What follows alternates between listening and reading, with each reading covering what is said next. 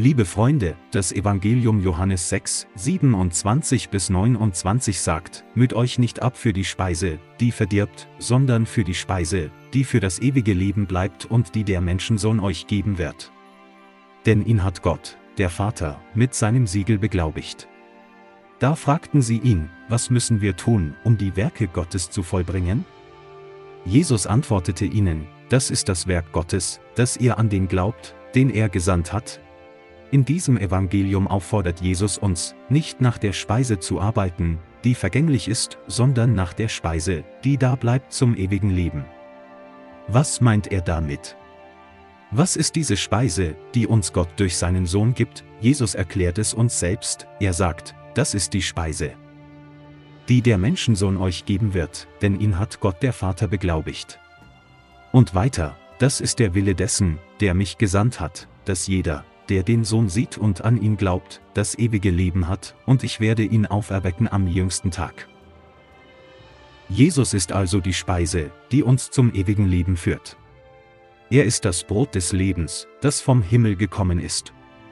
Er ist derjenige, der uns mit Gott verbindet und uns seine Liebe schenkt. Er ist derjenige, der für uns gestorben und auferstanden ist, um uns von der Sünde und dem Tod zu erlösen.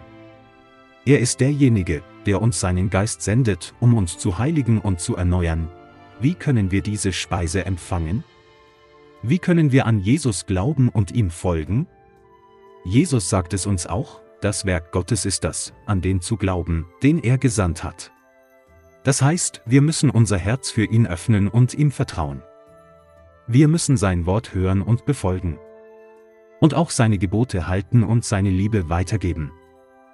Wir müssen sein Leib sein in dieser Welt und Zeugen seiner Auferstehung, liebe Freunde, bitten wir Gott heute um die Gnade, diese Speise zu suchen und zu finden. Bitten wir ihn um ein lebendiges Glauben an seinen Sohn Jesus Christus und um ein hungerndes Herz nach seiner Liebe. Und auch um ein dankbares Leben in seiner Gemeinschaft. Herr Jesus Christus, du bist das Brot des Lebens, das uns nährt und stärkt. Wir danken dir für deine Liebe und Treue, die du uns immer wieder zeigst. Wir bitten dich, hilf uns, dir zu vertrauen und dir nachzufolgen.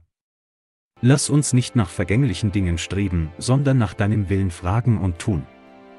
Schenke uns deinen Heiligen Geist, der uns leitet und tröstet. Amen.